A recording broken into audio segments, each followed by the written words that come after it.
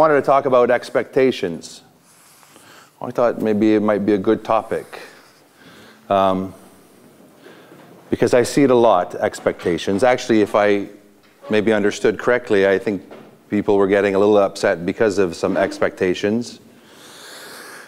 Um, expectations is a big thing when it comes to um, this lifestyle transformation. And um, I don't know, another word for expectations is sometimes entitlement. Sometimes people feel entitled to certain things, they expect certain things. Um, so I wrote it. As I said, I've been struggling a little bit myself, so I kind of found it a little bit on a personal side. So I wrote it, and I'm going to actually start to read it, and then I'll kind of go off and talk as I, I, as I should. But have you ever expected something in life, but it didn't work out as you had planned? You have to relate this now to your own experience. It has the, it has the makings of this program. It has the makings of your life when you really apply it. Did you feel frustrated? Did you feel angry? Do you feel cheated? Truth is, we have all come to expect certain outcomes. It's a part of who we are. It's a part of our makeup. It's just really who we are. Unfortunately, though, expectations of everyone, including ourselves, are spiraling out of control. We no longer just want things, we expect things. Expecting is not the best thing because with expecting, the problems are that we set ourselves up for problems and disappointments.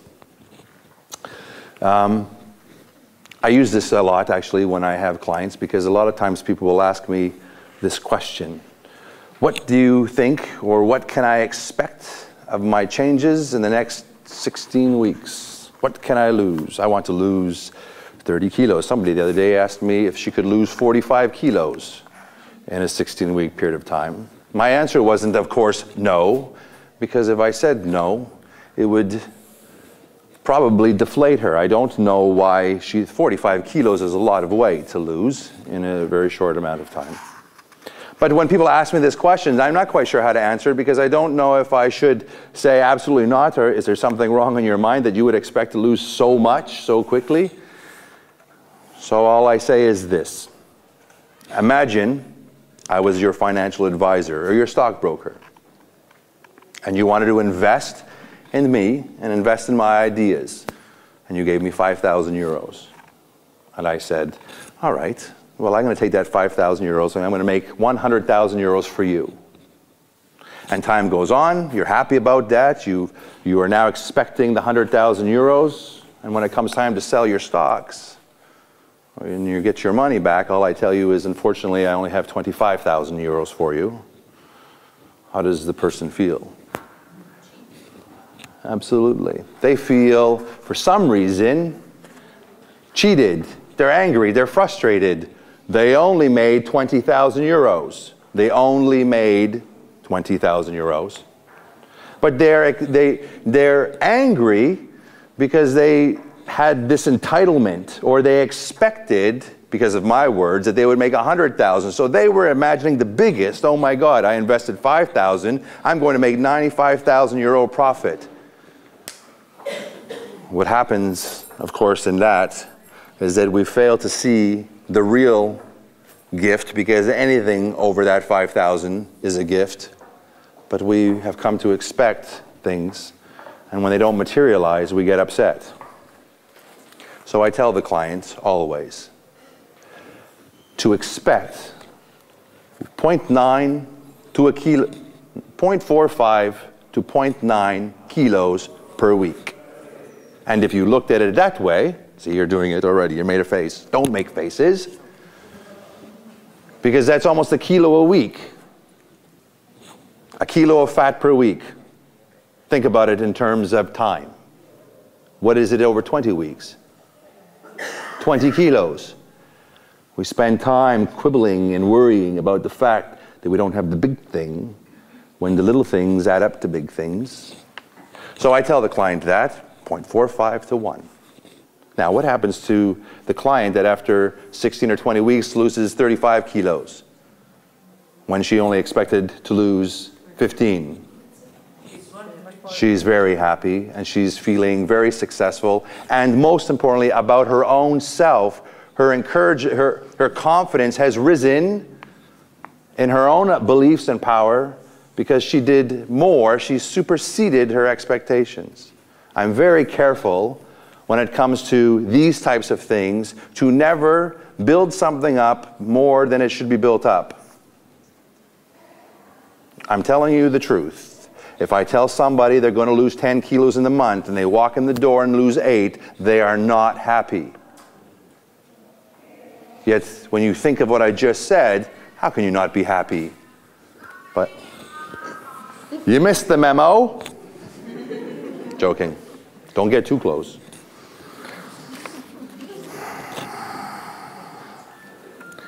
So, a lot of times when our expectations are that high, they supersede reality. And reality is something that what it all really boils down to what the reality is. What can you expect, really? Expect the best? But what's best at the moment, you won't know. You don't know what's best. You don't know what you're doing right now is this the best it could be? Is it the worst it could be? You don't even know really where you're at. You're just changing. I mean, is this the end of you? Is this the be all that you can be right where you are right now? You don't know. So you have to be very, very careful in how you kind of look at all of this when it comes to you and your life. Only, only when you look back at the circumstances can you tell what was best and that's a fact. I don't know if any of you um, go on my Facebook, but recently the day I put on this post, and I thought it was very, very good. And it says, You never know what's around the corner. It could be everything, it could be nothing. You keep putting one foot in front of the other, and then one day you look back and you've climbed a mountain. Do you follow the gist? I mean, when you're sitting there and you're just taking it day by day without these huge expectations, you won't get let down. It's not just about you. You know what the kind of pressure that you put on others when you lay expectations on them? You become afraid to move. You become afraid to say anything, do anything. Trust me, it's not just about, you know, your health life, it's about your emotional life, it's about your life in all aspects with friends and family and loved ones. Expectations are very, very dangerous. Life is not about meeting expectations, but rather going after what you want and being appreciative of the steps taken in the process. That's what it's about. This is your life journey right now. This is a pivotal moment in your life. Every day that you're living it right now is pivotal. It's impacting in reality, it's impacting because you've all taken this different turn, a different path. And you know, somebody said to you, I mean, if you spoke to me, I would have told you, you know, when you came into the program, you have two roads that you can choose. You can choose the road that you're on right now, and where you're going to be down the road, you can almost assume. Because if you're not eating well, if you're not taking care of yourself, if you're not speaking highly of yourself, if you're not looking in the mirror and realizing just what a valuable person that you are, if you keep doing the things that you are doing, what you can probably assume is that you're going to get worse. Or, you know, you can take the other path. I don't, I don't need a chair. Oh. No, the, the water doesn't need a chair. Thanks. Or you can take the other path, and the other path is an opportunity. Not an expectation, an opportunity, a chance to be what you want to be however you want to, however you want to see it, however it unveils, and it's in, in its own timing. That's the other path. So you're on this path right now. I mean, that's why you're here. I'm, I'm assuming that's why you're here. And where you are right now, in the, this moment, in the here and the now, is what's most important. It's not where you are in a month or six months and it's not where you were a year ago either that counts, and it's not where you were yesterday that counts. It's where you are right here and right now. And all you need to really worry about is nothing. There's nothing to worry about. Just keep doing what you do. It's amazing. Everybody here is a different age, born at a different time, in a different place, different circumstances, and you're still here. You know, how long ago was it? Selena, when was it? Three weeks ago? I walked out in front of a, uh, I walked out across the street to get uh, two muffins, one for me and one for Retienne, and I got hit by a car. I didn't see it, and it hit me and threw me in the air and knocked me on top of my car. Then I bounced off my car. Sorry? Put my what? Is that all right? And I bounced on top of my car, bounced off of my car, looked at my car. I said, Oh, please don't damage it. And then looked at him and was embarrassed and told him to move on. Don't worry about me. Meanwhile, he had a huge dent. huge dent. When I'm saying dent from the top of his hood to the bottom of the door. So if he had gotten out, I'm sure he wouldn't be happy with me, though he hit me. Um, you are where you're supposed to be. And from that moment backwards, it's perfect. Even in that kind of a disastrous circumstances, there's something very positive about it. There's a silver lining in all of it. You learn something from it. I don't care how bad it is, you learn something from it. I learned, I'm not in Canada, don't look left, look right. because at home, I look this way so I don't get hit and I look this way, and that's it. So I learned something important, and I'm here to talk about it. But do you understand what I'm saying is that you are here right now under all circumstances, good, bad, or indifferent. It doesn't make a difference. Just to appreciate those things and not to expect much, much more. When it comes to our bodies, for example, just because we're good at doing everything right doesn't mean we'll lose 10 kilos of fat in one month. And that's something that I think everybody would like to do. So, why is there this disappointment, to put it lightly? And it is put lightly because people want to get the most when only you lose four kilos of fat and put on two kilos of muscle. You have no idea how disheartening it is to see someone walk in the office every single time. And I could assess every one of you, or someone else will assess every one of you. But one thing I notice for sure is when everybody walks in, their eyes are down. They expect the worst. They assume it's the worst. I don't know why. Anyone I've ever assessed is always that way. They walk in, head shaking. You okay? Uh, what's wrong? Oh, I didn't do very well. Why? You look great. No. okay. So I say, what's the problem? Well, I didn't lose much weight. So you're on the scale then? Yeah. Supposed to be a rule, right? Get off the scale. So how much did you lose? Four kilos. Like it's a problem. Like it should, that's what we said. A kilo, 4.45 to 0.9 per week. You lost four kilos. Well, how do you know what you lost? I don't know. It's, it's, it's negative. It's so, it's such a downer. And then, as that's happening, all right, well, forget the weight. How do you feel? Oh, I feel good. Oh, you feel good? What do you mean you feel good? Well, I have more energy. Oh, okay. What were you doing a month ago when you walked into the program? How much walking were you doing then? No, I wasn't walking at all. Oh, okay. What are you doing now? 35 minutes. Oh, wow. So you're doing 35 minutes more per day than you were doing in the beginning. Yes. How's your clothes? Are they the same? No, no, they're looser. I should pull my pants in by two inches, by two. Oh, interesting. Anything else? No, I just have more energy. I'm stronger. I'm doing something now I never did before blah, blah, blah, blah, blah. Do you, you see the point? And down, down. So we do the evaluation. Lost eight kilos of fat, put on four kilos of lean. Water weight was up, they're up. Do the, the skin folds down like 60 millimeters. Did the measurements down 11 inches. Oh, well, that's why everything was falling off. All of a sudden, it's like a light bulb went off, and they realized it all. All the way, I knew it, you know, I could tell.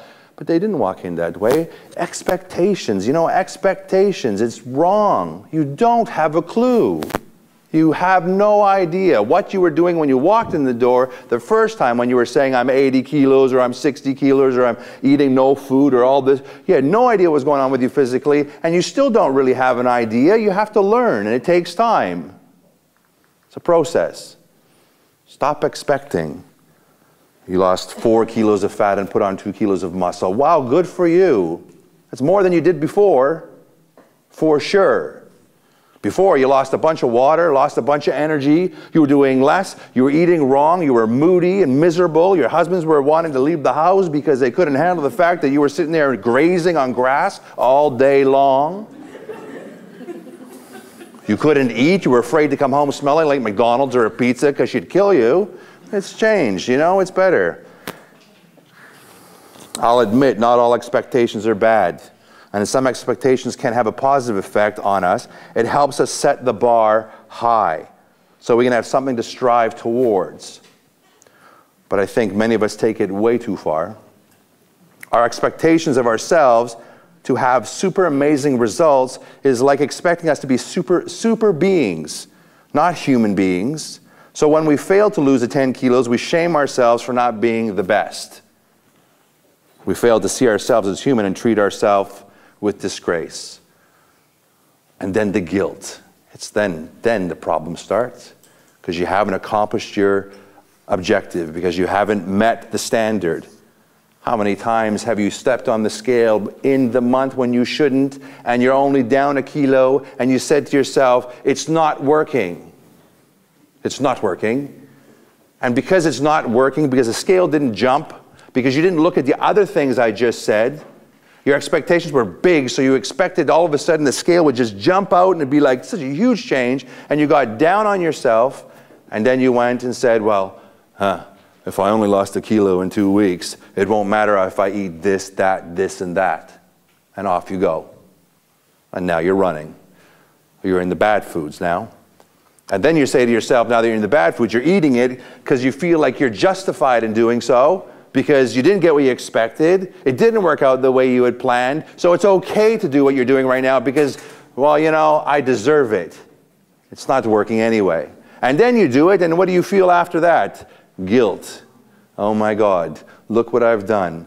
You've, I've lied to myself. I convinced myself it was okay. Now you're all guilty. And then you're feeling bad about that. And then it becomes a vicious cycle.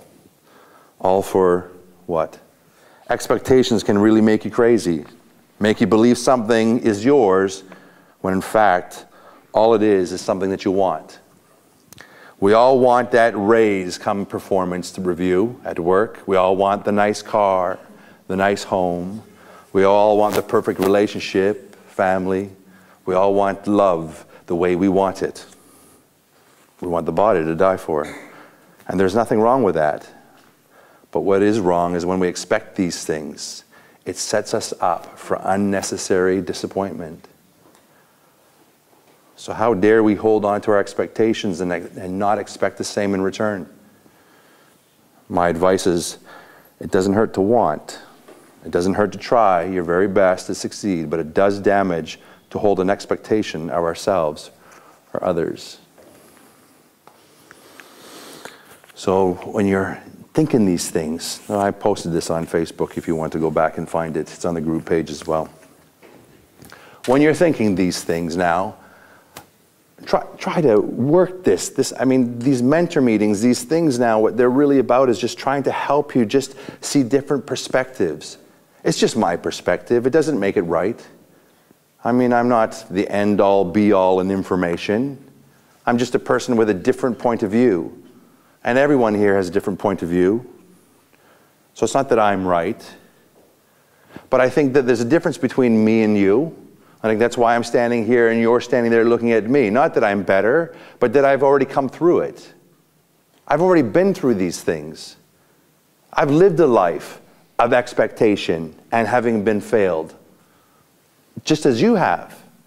But maybe I've changed my perspective and my point of view. I've gone through a lot of those things and realized that it never ends in life if you keep that, that in your mind, that life is about these expectations, then you'll always be unhappy. So I, maybe I learned something. And maybe my perspective is not to expect. Just to be thankful for what you have. Just to appreciate where you are in the here and the now. To spend the time to maybe, you know, I, I said a thousand words, but if one thing rings home, if it rings true, then maybe take that and be the seed that moves you in another direction. Because that's what it's all about, really. I mean, you're not here for your health, so to speak, and neither am I. We're just here to support one another and to encourage one another to just be the very, very best that we can be. So don't expect. Just go for what you want, do the very best that you can, and whatever you have at this moment, be thankful for it. Trust me on this one, and I, will I'll say this a thousand times over. I know people that have wanted so much and have never appreciated one thing that they have, only to find out one day it's all gone. And then when it's all gone, you know what they say? I wish I had it. I wish I had that. So, where you are, you're in a very neat position because you have the foresight now to look forward and to actually understand that and say, no, that's something I should be maybe changing on how I look at things. Maybe I should just appreciate what I have right now. I'm doing very, very good. I'm here, as a matter of fact. Wow. I mean, we're, we're pushed to the very back. There's people sitting almost outside. We need a bigger room. So that's good for you. That says something about you. All right? Just see the positive in all of this and what you're doing. Don't expect. Just keep working towards what you're doing. Be thankful for where you're at. And I promise you, I guarantee you, I guarantee this, you will be successful. You will be successful. I don't know who I spoke to the other day. Uh, who was it? I spoke to, and they said, be careful about saying 100%. That's right. Went to, went to Gozo, spoke to a hotel there. They were interested in what we were doing. And uh, she said something to the effect of the, the power of this program. I said, the program is 100% successful.